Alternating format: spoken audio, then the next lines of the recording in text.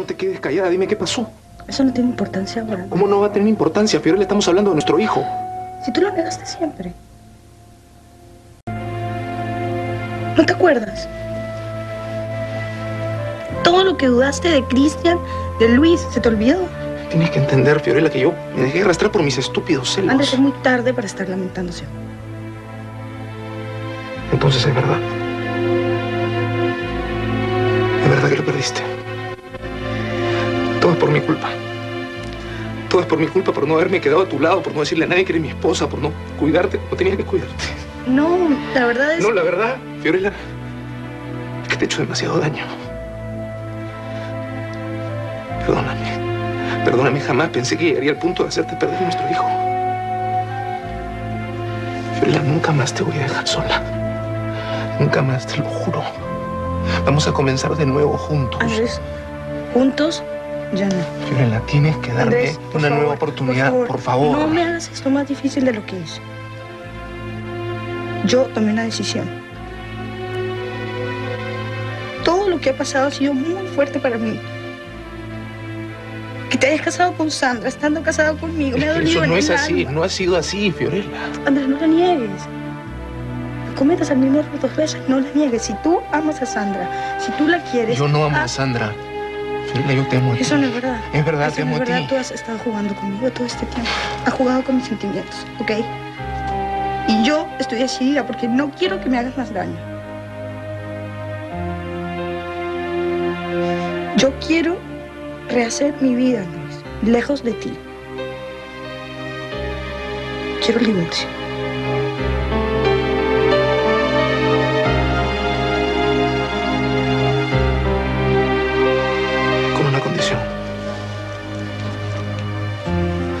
a los ojos y me digas que ya no me amas. Si es así, te juro que me voy de tu vida para siempre. Yo no te amo.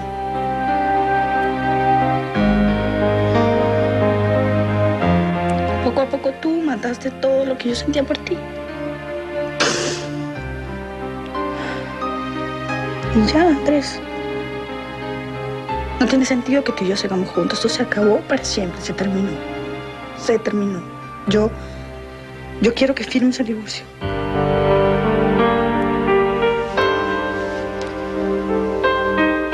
¿Está bien? Hoy mismo lo firmaré.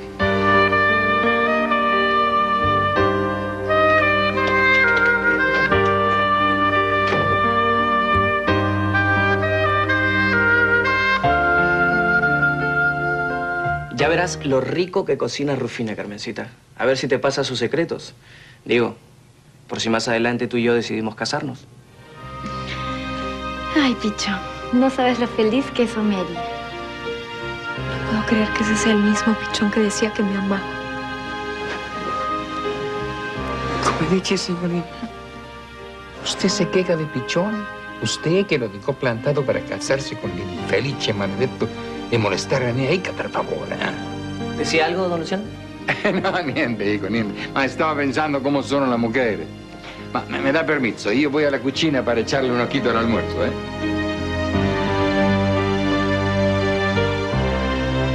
Ustedes no pueden seguir acusándome sin antes oírme.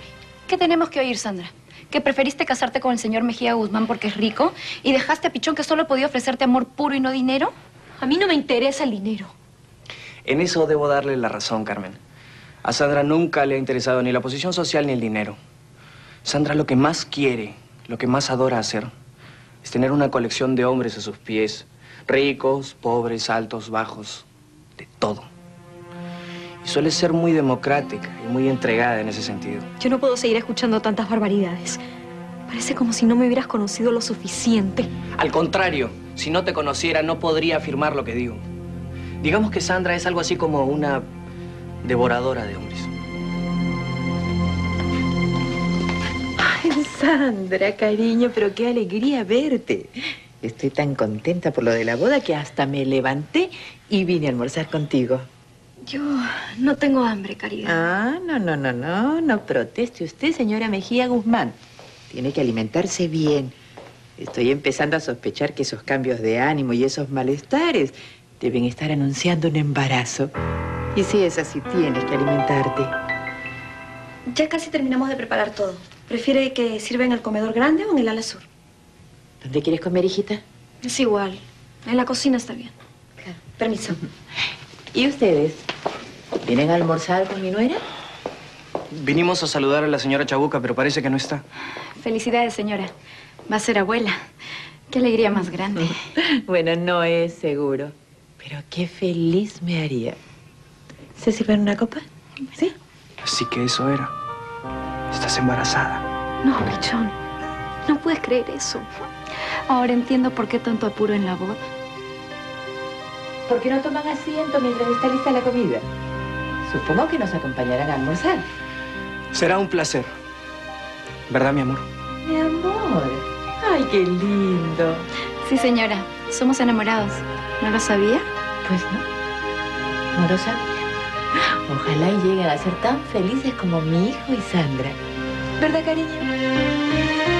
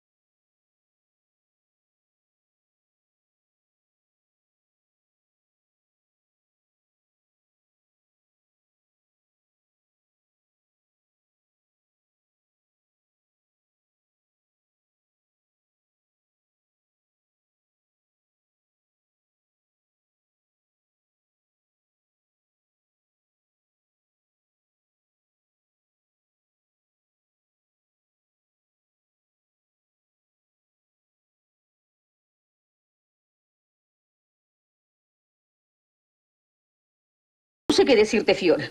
De- después de todo, también es su hijo. Andrés tiene derecho de saber que se trató de una operación delicada, pero de apendicitis. ¿Entiendes? Pero que a tu hijo no le pasó nada. Pero corrió un riesgo muy grande. Sí, pero no por su culpa. Fue simplemente una coincidencia. Yo también pensé mal de ese. Y aunque siga creyendo que es un desgraciado, merece saber la verdad. Aunque sea cruel de mi parte, porque sé que lo es. Yo creo que es lo mejor en este momento, ¿entiendes?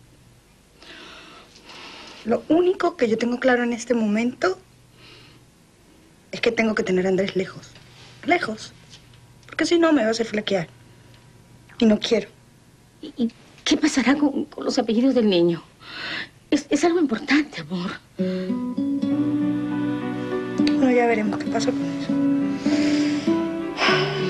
Lo único que yo me voy a concentrar y lo único que va a ser importante para mí es cuidarme, mi embarazo, para tener un buen parto y para que mi hijo nazca bien. Punto. Entonces tendrás que seguir escondida en casa de Amparito, porque ni modo, ni modo que regreses a la casa con, con la pancita.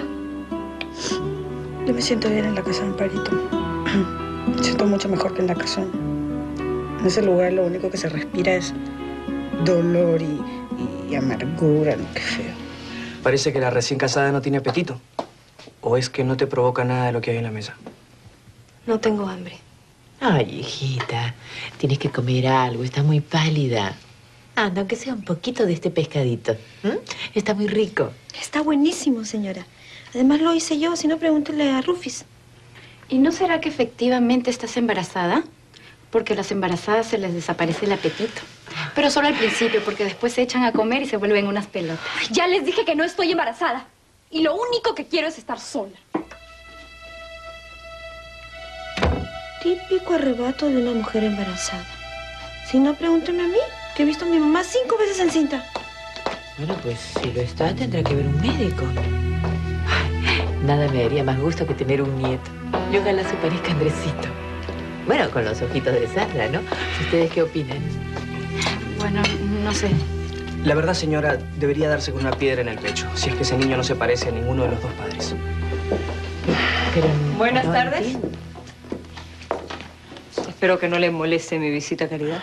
Rebeca, ¿cómo dice eso? Sabe que la apreciamos mucho, ¿no? ¿Y ustedes dos? ¿Qué sorpresa por aquí? Justo nos vamos ahora, ¿verdad, Carmen? Sí, sí, vámonos. Bueno, espero que no sea porque yo llegué. ¿Y este chico qué le pasa? Ni siquiera terminó de almorzar. ¿Por qué se va así? No sé, pero parecían molestos. ¿Será porque Sandra se levantó de la mesa y se fue sin más? ¿Qué fue lo que pasó? Bueno, es que está muy susceptible. Ay, pero estoy tan contenta. Parece que Sandra está embarazada. Entonces era cierto. Ah, ya lo sabía. Escuché algo en la oficina. Permiso. Alicia, recoge la mesa, por favor. De manera que esas tenemos, sombrita. Un congreso de cardiología. Sí, será unos días en el Cusco. No creo que sea necesario mandar a nadie, ¿no? Podemos hablar con el corresponsal. No, al contrario. Me interesa que vayas tú misma a cubrirlo. Ya entiendo. Aún tienes interés por encontrar a la doctora Torreblanca. Sí. Tengo interés en hablar con ella. Hay muchas cosas que quiero aclarar con Ana María. Me imagino que se trata una vez más de la Morelia. Sí, en parte sí. Pero también tiene que ver con Andrés y con la enfermedad de su madre.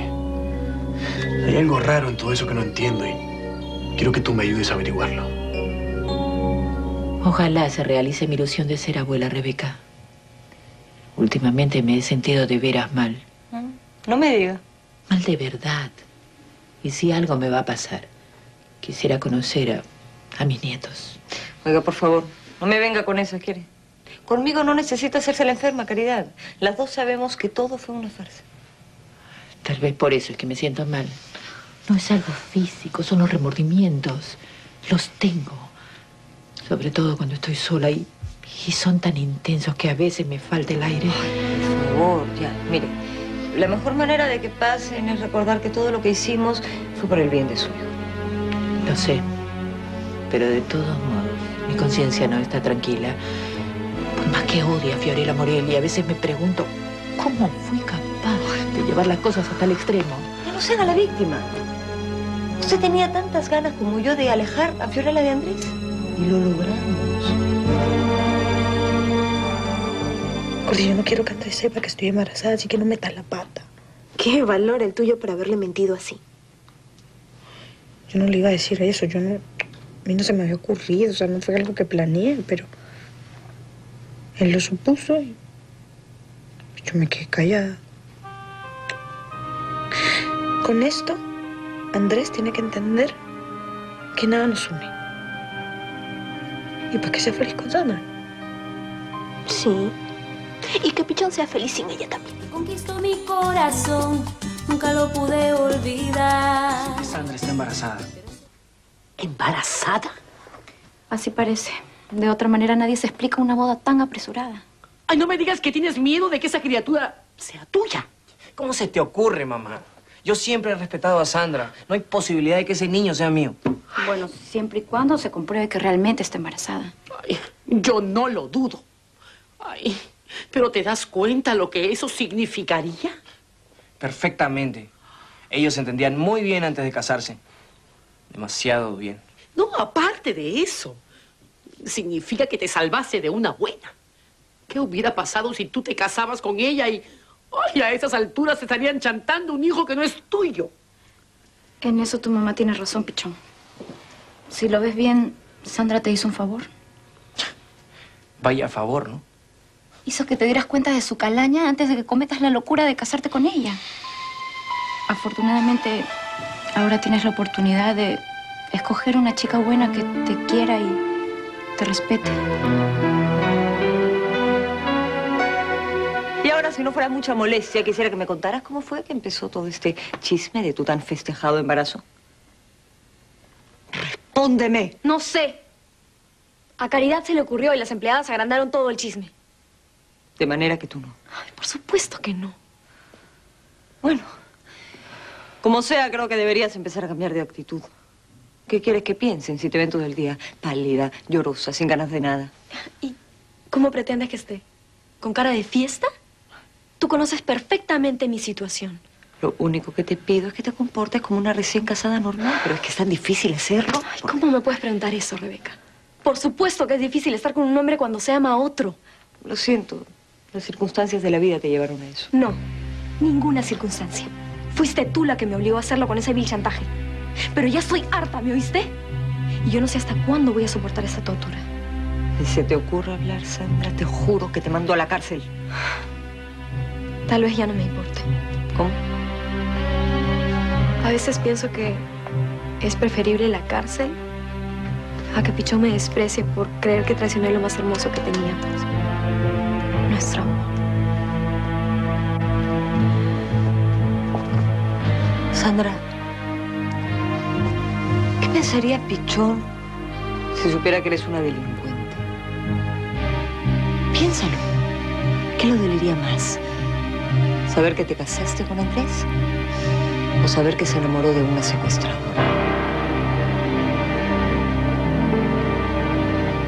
Así que te vas al Cusco. Sí, claro, aunque no me voy a cubrir el Congreso. Estoy yendo porque Luis Alberto está interesado en encontrar a su amiga, la doctora Ana María Torreblanca. ¿Vas con tu jefe? Bueno, fuera, pero no. Voy sola. No sé, hay algo raro en todo eso. Con la doctora esa. Sí. Y para variar, tiene que ver con la Morelli. No sé qué decirte, amiga. No, no tienes que decirme nada. Luis Alberto cada vez se enamora más de Fiorella. Aunque como ya te dije, yo no voy a dejar de luchar por él. Bueno, te deseo suerte, aunque yo no soy el más indicado para dar consejos de amor. Mario, perdóname. Todavía te duele, ¿no? Sí, muchísimo. Aún la amo a pesar de todo, ¿sabes? Pero ya estoy harta, ¿me oíste? Y yo no sé hasta cuándo voy a soportar esa tortura.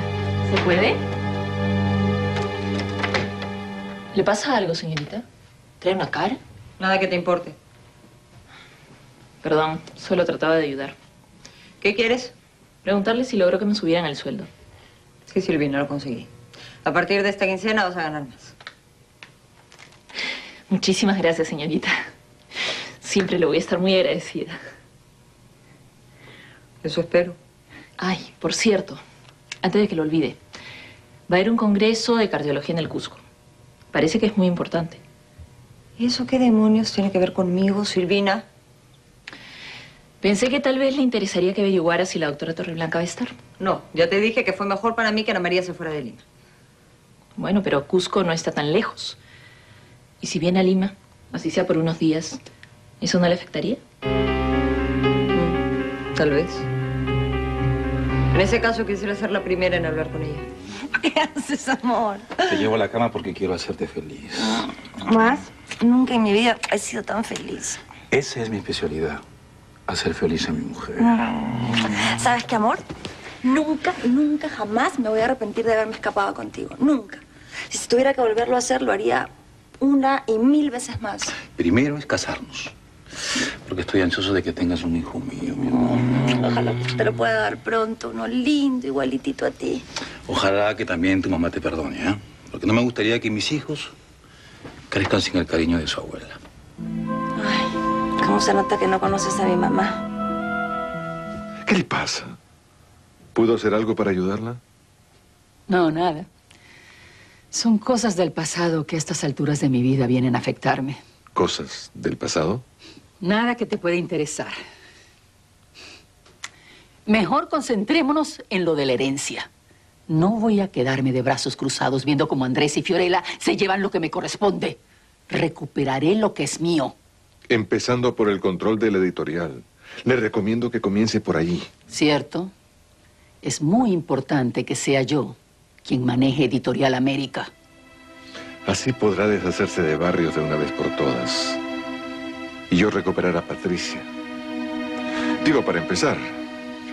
Espero que mi hija recapacite. Pero sí, Lo primero que haré cuando logre tomar el control del editorial será votar a ese infeliz de barrios a bastonazos.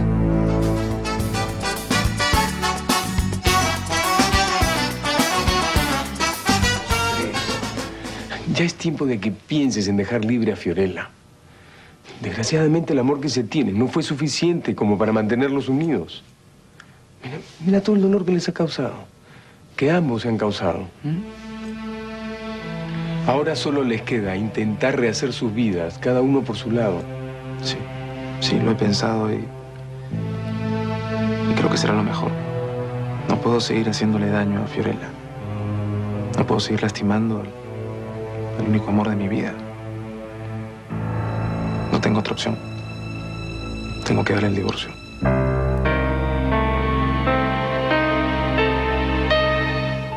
¿Hablas en serio? ¿Pichón Guillén? Sí, Patricia. Gracias a Cristian ahora lo sé. Pero no me atrevo a ir sola. Por favor, acompáñame. Necesito verlo ahora mismo. De modo que Pichón es mi otro sobrino. Prefiero afrontar el escándalo, pero no voy a seguir negando a mi hijo. Pues yo te aconsejo que estés preparada, Elvira. Yo estoy lista. Si lo estaba buscando hace tanto con Cristian fue porque quería conocerlo. No, no me refiero a eso, Elvira.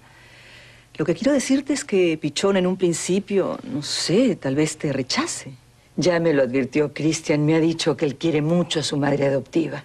Y es lo más lógico, ¿no te parece? Sí. Una madre no necesariamente es la que da a luz, sino quien lo ve crecer, quien lo alimenta cuando tiene hambre y lo arropa en las noches frías. Yo también me perdí todo eso, Patricia. Estrechar a mi bebé, escucharlo decir mamá.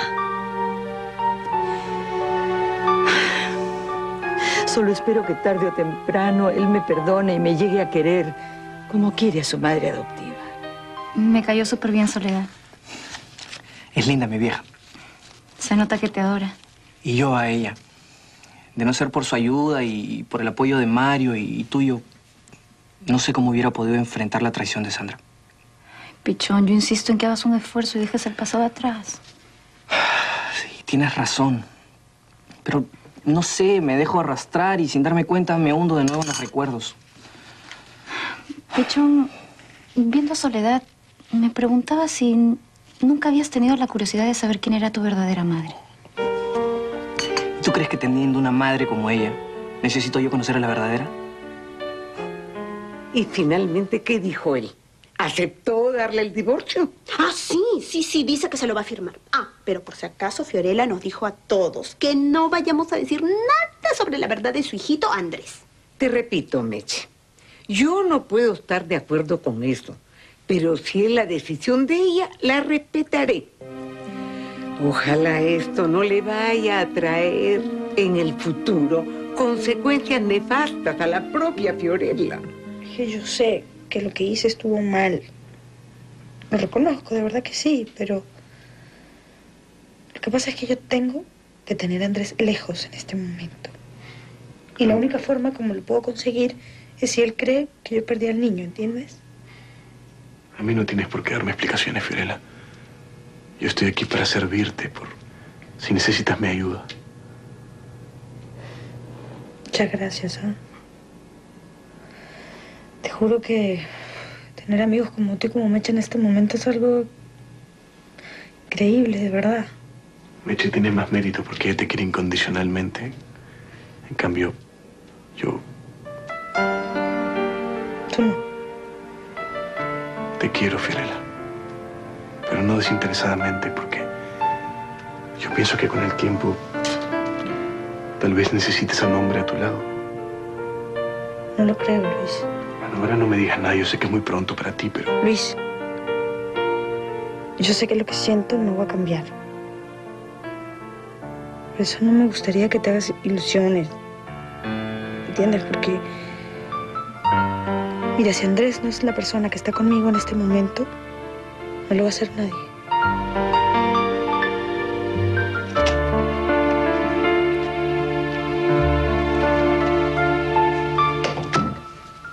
Puedes sentarte. Nosotros sí tratamos bien a nuestros competidores. ¿Quieres un café? No, gracias. Lo que quiero es ver a tu jefe. ¿Demorará mucho? Ya te dije que va a venir. ¿Estás seguro de que no quieres nada? Seguro. ¿Tú qué eres aquí? ¿Por qué? Porque pensé que eras reportera, pero veo que te desenvuelves con cierta autoridad. Bueno, empecé como reportera, sigo cubriendo notas y haciendo reportajes. Pero además ahora me he convertido en asistente personal de Luis Alberto. Mm, Asistente personal de Luis Alberto. Ujú. Bueno, ahora es mi turno. ¿Quién eres tú realmente? ¿Acaso no sabes quién soy? Sí, pero tengo una duda. Te casaste con Sandra, pero sé que a quien amas realmente es a Fiorella. No he venido a hablar de mi vida privada, menos con una reportera. Bueno, yo solo quería saber qué cosas sentía Fiorella por ti, porque según tengo entendido, ella sentía un amor fuerte, incondicional. Si no te molesta, voy a esperar a tu jefe aquí, en silencio. Está bien, le voy a avisar. ¿Aló? Soy Karina. ¿Está aquí Andrés Mejía Guzmán?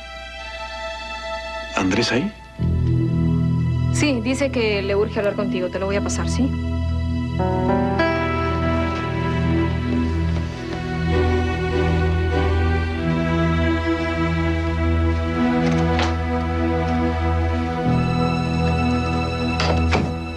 Miller, me enviaste a tu abogado con unos documentos y yo los rechacé.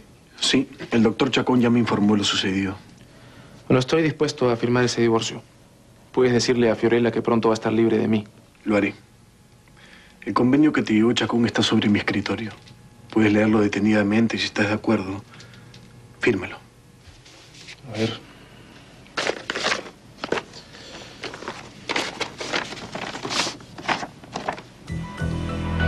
Sí, aquí lo tengo. Lo voy a firmar. Está decidido a dejarte en libertad. Va a firmar el divorcio.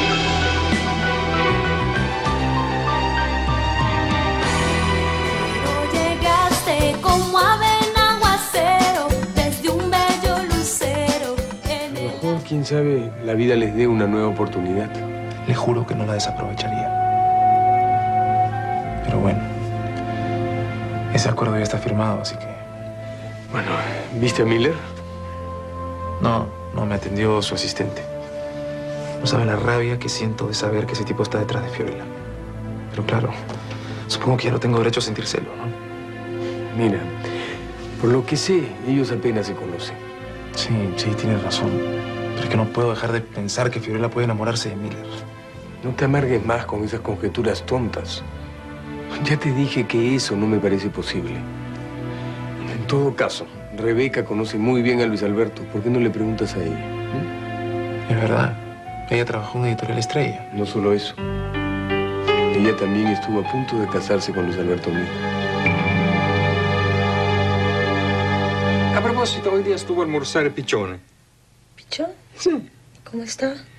Sta bastante tranquillo, va bene. Ora tiene un'altra innamorata. Eh? ¿Pichón? ¿Enamorada? ¿Quién? Una chica molto simpatica che trabaja nell'editoriale. Si chiamano... eh, eh, si chiamano Carmen. Carmen. ¿Carmen, la novia de Pichón? No, eso no te lo puedo creer. Ay, ¿cómo le va a hablar eso a la mecha, viejito? Ay. La che le va a doler alla Meche, ma la tua amica perché? Ay, sí, porque a ella le gusta Pichón. Ay. Rebeca, sabes bien que no puedo corresponder a tu amor. Y no es justo que tú dejes de hacer tu vida por estar ayudándome. Pero lo hago con mucho gusto, Andrés. Y lo voy a seguir haciendo. No tengo remedio. Te prometí que iba a ser tu mejor amiga y lo seguiré siendo. Así que pídeme algo. Ponme a prueba. Tú conoces bien a Luis Alberto Miller. Claro. ¿Quieres que te, que te arregle un encuentro con él? No, no, quisiera que me digas, pero con toda sinceridad, si tú crees que, que él tiene interés en Fiorella.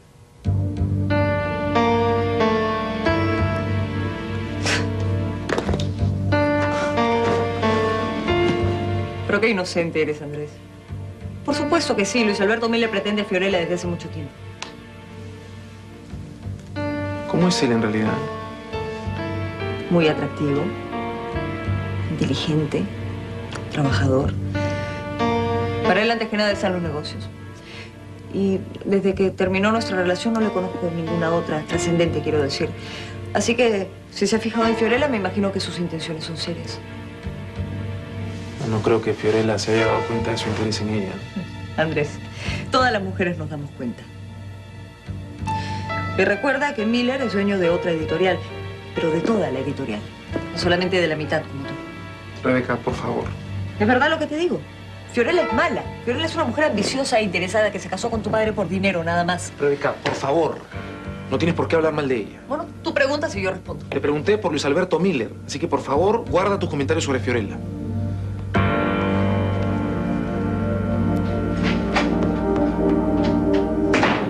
Un necio, Andrés. No deberías seguir pensando en esa mujercita. Bueno, bueno, me voy. Y ya saben, ¿ah? Ni una palabra. Haré lo que Fiorella pide, aunque no me gusta mucho la idea de mentir. Ni a mí, pero ni hablar, pues. Ja, mi pobre hija ya sufrió mucho por culpa de Andrés, ¿no? Eh, doña Chabuca, antes de que usted se vaya, ¿usted me puede decir qué es eso de pichón? ¿Quién es esa Carmen, ah? Sinceramente, yo, yo no sé. Yo no sabía la casona. Eh, fue Luciano quien me contó. Creo que es una chica ahí de, de la editorial. Caramba, yo no sé qué tienen todas esas víboras que le gustan a Pichón que no tenga yo. A ver. Ay, no lo tomes tan en serio, hija. A lo mejor no es cierto que esa chica sea la enamorada de Pichón. ¿Y por qué la llevó a almorzar entonces allá a la casona? Y hasta a don Luciano se le presentó como su enamorada. ¿O eso no, no es verdad? Vaya, vaya, y era hora. ¿Qué pasó? ¿Cómo te fue con Pichón? Muy bien. Creo que di un paso adelante. Ay, ¿por qué? ¿Qué hicieron? Me llevó a almorzar a la casona de los Mejía Guzmán. Y allí me presentó como su enamorada delante de Sandra. Ay, qué bueno para que esa traidora sepa lo que se siente. Yo la vi celosa, pero Pichón piensa que le dolió solo por orgullo. Sea lo que sea, se lo tiene merecido. Ay, yo la pasé muy bien, y no solo por fastidiar a Sandra. No me digas lo que estoy pensando. Ay, me encantó que Pichón me presentara como su enamorada delante del señor Morel. Oye, oye, ¿no te estarás tomando muy en serio el papel? Bueno, ¿y qué tiene de malo? Yo ya les dije que a mí me gusta Pichón. Y ahora más que sé que es encantado. Mm, chicas, a este paso nuestra amiga va a terminar enamorándose de él. Bueno, pero de eso no voy a morirme. Carmen, ¿puedes darme los gastos de lo que va del mes, por favor? Eh, sí, señor Vargas. Sí, los comprobantes. Editorial América, redacción. ¿De dónde? ¿De cuál internado? Dame acá el teléfono. ¿Aló? ¿Aló? ¿Me oye? Sí, sí, le oigo. Habla usted a Editorial América. He pedido hablar con doña Roberta Mejía Guzmán. Habla usted con su administrador. Eh, ¿De qué internado llama? Oiga, un momentito. ¿Quién es usted? Le estoy diciendo que soy el administrador. Es el internado donde están... Yo a usted no voy a decirle nada. Yo he pedido hablar con doña Roberta. O en todo caso me mandan al doctor Hernández Marín. Pero si no puedo hablar con ellos, entonces no quiero hablar con nadie.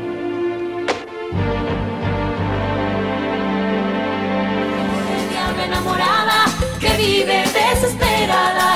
Ya no puedo conquistarte, no sé. Pero miren quién está aquí, el rey Don Juan del barrio. ¿No te dije que hicieras tus cochinadas de la puerta para adentro? Te pueden ver. Ya sabes cómo corren las noticias aquí. Cierra el pico, pichón, porque te puede ir muy mal. Qué poca vergüenza tienes, infeliz. Besuqueándote en la puerta de tu casa con... ¿No te das cuenta lo que vale Paula, tu mujer? Oye, Nada que ver, ¿ya? Esa blanquillosa insignificante. Yo soy su mujer. ¿Para eso separaste a Paula de Mario? ¿Para dejarla por alguien como Ernestina? ¿Y quién dice que voy a dejar a Paula, pichón? Yo soy macho y los machos tenemos las mujeres que nos da la gana. Todo es cuestión de tenerlas satisfechas. ¿Sí o no, Abati? Sí, papito. Oye, ya me quito, ¿ah? Pero aclárale al pavazo este que la tipa es poca cosa para ti, para que no se esté arañando por ella. Torreja.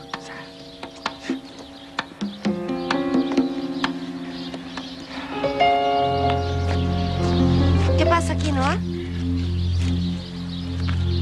Si eres tan macho, ¿por qué no le dices a Paula qué está pasando? Cállate la boca, pichón, ¿eh? No digas nada.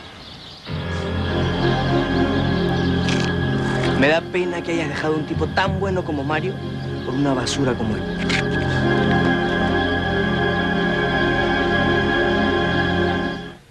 Estoy totalmente seguro de que era el internado donde están esos niños. Esa mujer no quiso darme ningún detalle.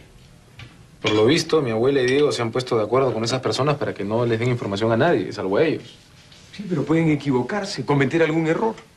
No. Hoy tuvo usted suerte, Barrio, porque justamente contestó la llamada. Pero ¿cómo va a ser la próxima vez? Bueno, ya le dije a Carmen a ver si la siguiente llamada ella puede averiguar el nombre del internado o el de la responsable de ese lugar. Ojalá lleguemos a saber algo de eso. Sería muy bueno para Patricia. La haría la mujer más feliz del mundo si pudiera decirle dónde están sus hijos. Yo los voy a ayudar, Barrios. ¿Y qué piensas hacer? No sé, lo que sea necesario. Podría hablar con mi abuela. ¿Y qué fue lo que te dijeron? Solo eso, señora. Preguntaron por usted y luego hubo un problema y se cortó la llamada. Pon mucho cuidado, Carmen. Siempre que llamen del internado, pasas la comunicación al doctor Hernández Marín o a mí. Sí, sí, señora. Y mucho cuidado y se te ocurra darle información a alguien más sobre ese internado. Porque puedes perder tu empleo. Sí, doña Roberta. Ya estás avisada.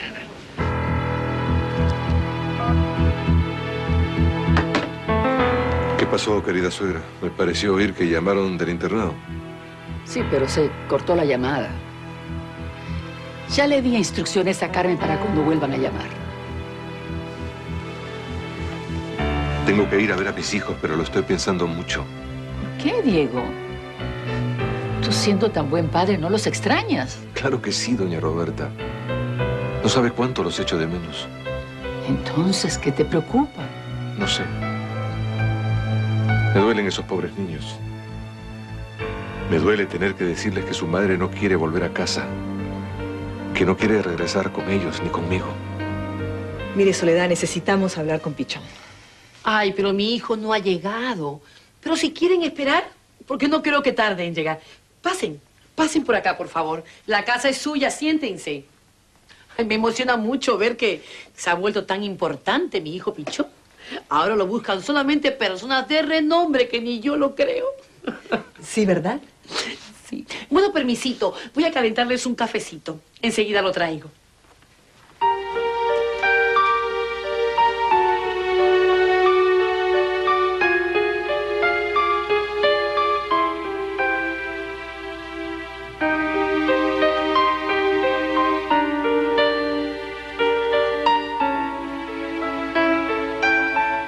Elvira, ¿por qué no te sientas? Tienes que calmarte, mujer. No puedo, Patricia. Estoy muy nerviosa. Voy a conocer por fin a mi hijo después de tantos años. ¿Te das cuenta? Sí, lo sé. Pero si sigues así, te vas a delatar antes de tiempo. Tienes razón. Voy a tratar de... Enamorada de este amor imposible. No quiero vivir. Gordi, ¿por qué estás llorando? Pichón está enamorado con una tal Carmen del editorial. Gordi, mi viejito sí me contó eso, pero. Pero yo no creo, amiga. Si Pichón. Imagínate, después de todo lo que le pasó con Sandra, ¿tú crees que se va a meter tan rápido con otra persona? Sí, pero tu mamá me lo acaba de decir. Ah, Fiori, yo me quiero morir. No puedo creer que Pichón se haya enamorado de otra. Hijo, la señora Patricia y su amiga te están esperando. Yo tengo que salir ahora, ¿ah? pero te dejo con las señoras, ¿sí? Sí, mamá. Permisito.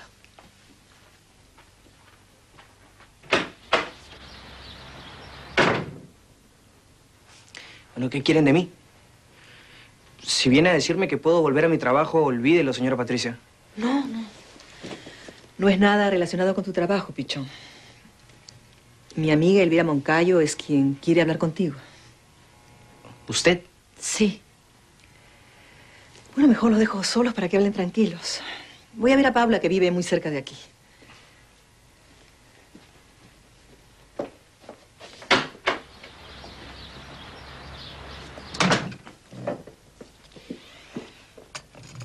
¿Y bien?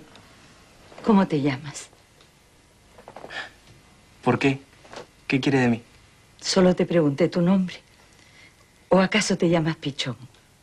No, no, no. Mi nombre es José. José Guillén. Mi madre siempre me llamó Pichón desde niño, pero ¿Qué importancia puede tener eso para usted? ¿Para qué ha venido a buscarme? Es que... Pichón, yo... Yo... Yo soy tu verdadera madre.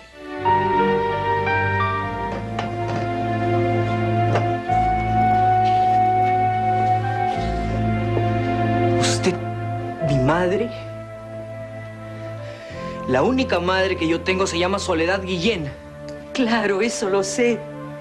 Ella te crió, te vio crecer. Pero fui yo la que te traje a este mundo. No es cierto. Eso no puede ser verdad. Sí, lo es. Por eso he venido. Te ruego que me des la oportunidad de explicarte. Usted no tiene nada que explicar. Cálmate, por favor. Si es verdad lo que dice. No entiendo cómo puede tener la desfachatez de venir después de tantos años. No me juzgues antes de saber lo que sucedió. Te lo ruego, por favor. Nada de lo que me diga va a remediar lo que hizo. Nada. Pero al menos tengo el derecho de aclararte las cosas. Ninguna mujer que abandona un recién nacido a su suerte puede exigir nada. Escucha lo que tengo que decirte, por lo que más quieras. No tengo nada que escuchar. Váyase. Váyase ahora mismo. Yo solo tengo una madre y se llama Soledad. Y es la única madre que necesito. Déjame contarte mi historia, te lo suplico. Te juro que si después de oírme no quieres ya saber nada de mí, me iré para siempre, no insistiré. Pero por favor, dame al menos unos minutos, te lo ruego. Recuperar a Pichón, yo tengo que estar pendiente de él. Yo tengo que ver qué hace, qué deja de hacer. Y ahí, pues, metida en la casa de Amparito, yo no puedo. Ay, ay, cállate, ya no me hagas reír. Ay, gordita, ya sé que por mi culpa has estado como aislada del mundo. Si quieres puedo volver a tu casa. No, no, Fiorella, no, tampoco. ¿Cómo te voy a dejar solita ahora? No. La total. ¿Quieres estar libre para andar y buscar a Pichón o no? Sí, pero tampoco te voy a dejar, pues no se puede. Entonces, ¿qué quieres hacer? Ay. Fiorella, todo está clarísimo. Lo que yo no puedo seguir haciendo es fingir que estamos estudiando no sé dónde y que cada vez que regresamos a Lima tenemos que estar inventando cuchucientas mil excusas, pues, ¿no? Para, para protegernos. No se puede. Bueno, por mi parte ya nos podemos olvidar del cuento ese del viaje, si quieres, ¿ah? ¿En serio? ¡Ay! ¡Ay, Fiorella! Ya, no, es que eso solucionaría muchas cosas, Fiorella. Porque yo podría estar aquí, pero también podría ver a Gaspar. Podría continuar mis estudios de periodismo y también podría ver a Pichón. Bueno, gordito, es lo que quieras. Pero mira, nadie puede saber dónde estamos, ¿ah? ¿Se llega a enterar Andrés? No se va a enterar, te lo juro, hermanita. De verdad que no se va a enterar. Nunca se va a enterar dónde estamos. Y sabes que yo no puedo perder más tiempo. Me tengo que ir a ver a Pichón en este mismo instante. Después vengo y te cuento. Cálmate. Mucho cuidado. Ay, mucho cuidado con meter la pata.